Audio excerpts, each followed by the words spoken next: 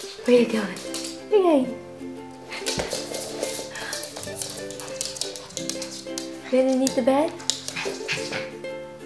Hey guys, it's DIY Wednesdays and that means we're going to be doing something with our hands. And today I'm going to show you how to make these two really cute decorative pillows. The one on your left is the easiest out of the two because all you have to do is know how to cut out a bunch of circles. They don't even have to be symmetrical if you don't want them to be. The one on the left is a little bit more finicky. You're gonna have to learn how to make some ruffles. And I will demonstrate on how to hand sew both of these because I know a lot of you guys don't have sewing machines at home. Alrighty, so let's get started. I'm going to use faux suede for this. You can use any fabric of choice, but do a fray check by pulling on the raw edges just to make sure it does not fray.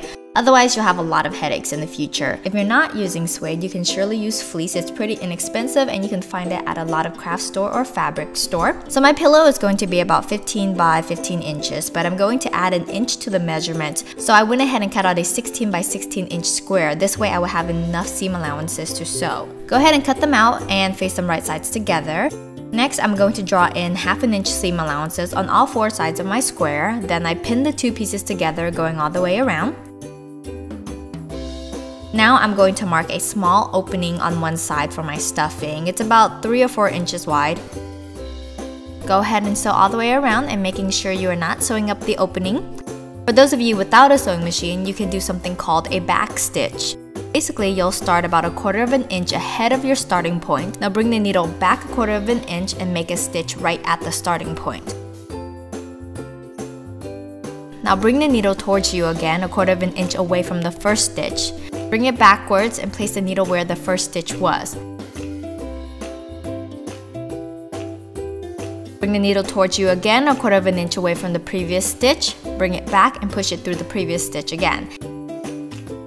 This is called a back stitch even though you're stitching backwards, the thread is going forward. This is a much more secure stitch than doing this and this is where you go up and down onto the fabric and this is called a stabbing stitch. So to see the difference, the top is the back stitch and the bottom is the stabbing stitch. So once you are done, flip the pillow inside out. If you have any extra fabric left, go ahead and cut them into 2 inch wide strips, sew them all together so that it's one long strand. On the edge of the long strip, create a stabbing stitch across the length of the strip of fabric. Remember to pull when you do this so it creates a ruffle.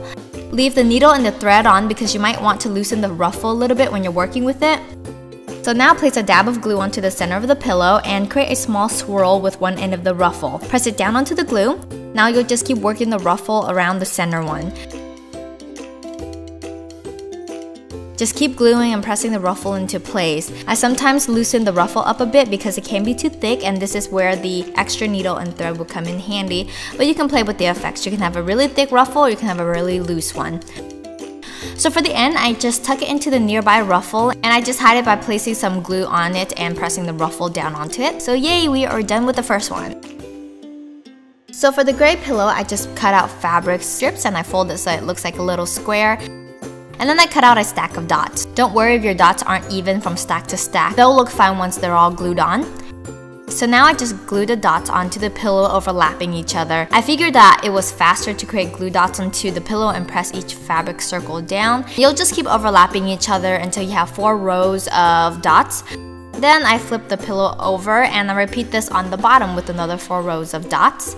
For stuffing, I'm going to use a pillow. Go to Walmart and buy the cheapest pillow you can find. I think $2.50 is the cheapest I have found. Don't buy stuffing at the craft store because it's a total ripoff. Anyways, I fill up both of the pillow with stuffing through the opening from earlier. And to close up the opening, I just make a stitch on one side. Then I grab a stitch from the other side of the fold and I go back and forth until the pillow is closed up I secure my thread and check it out, two really adorable pillows for my tiny sofa. So what do you guys think?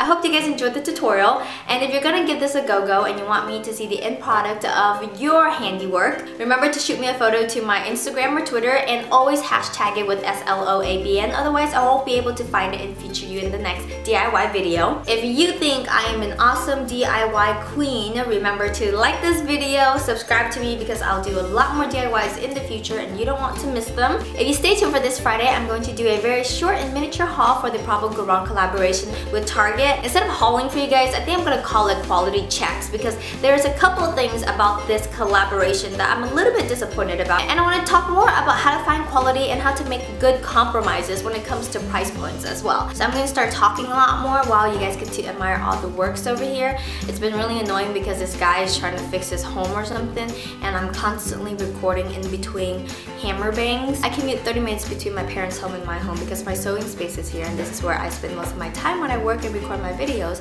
And I want to know what kind of weird things have you guys seen while you're driving on the highway? I mean, I've seen a big truck full of chickens before, horses, that's pretty normal, right?